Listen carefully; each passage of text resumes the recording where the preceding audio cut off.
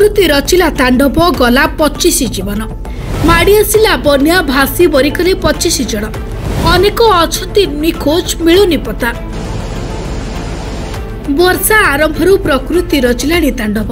ଲୋକେ ହୋଇଯାଉଛନ୍ତି ଭୟଭୀତ କାରଣ ଗଲାଣି ପଚିଶ ଜୀବନ। ଭୀଷଣ ବର୍ଷା ପରେ ପ୍ରଚଣ୍ଡ ବେଗରେ ମାଡ଼ି ଆସିଲା ବନ୍ୟା।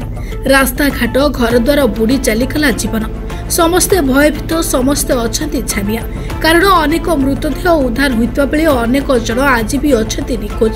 ସେପଟେ ଶୁକ୍ରବାର ବିଳମ୍ବିତ ରାତିରେ ଏକ ବ୍ରିଜ୍ ଭୁଷୁଡ଼ିବାରୁ ବାର ଜଣଙ୍କର ମୃତ୍ୟୁ ହେବା ସହ ତିରିଶ ଜଣ ଆହତ ହୋଇଛନ୍ତି।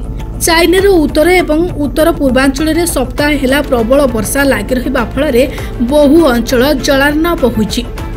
ବର୍ଷା ବିତ୍ପାତ ଓ ବନ୍ୟାରେ ପଚିଶ ଜଣଙ୍କର ମୃତ୍ୟୁ ଘଟିବା ସହ ଅନେକ ନିଖୋଜ ହୋଇଯାଇଛନ୍ତି। ସାନଗ୍ଲୁ ସହର ଦେଇ ଯାଇଥିବା ଉକ୍ତ ନଦୀରେ ବ୍ରିଜ୍ ଭୁଷୁଡ଼ିବାରୁ ସତରଟି କାର୍ ଏବଂ ଆଠଟି ଟ୍ରକ୍ ନଦୀ ଗର୍ଭରେ ଖସି ପଡ଼ିଥିଲା।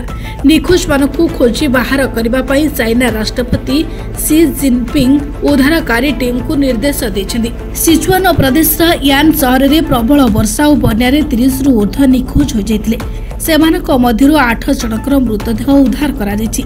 ସାନସ୍କିର ବାଉଜି ସହରରେ ବର୍ଷାଜନିତ ଅଚାନକ ବନ୍ୟା ଓ ଭୂସ୍ଖଳନ ଯୋଗୁଁ ପାଞ୍ଚ ଜଣ ପ୍ରାଣ ହରାଇଥିବା ବେଳେ ଆଠ ଜଣ ନିଖୋଜ ଅଛନ୍ତି।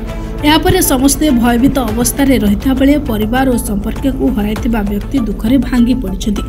ବ୍ୟୁରୋ ରିପୋର୍ଟ ନିରପେକ୍ଷ।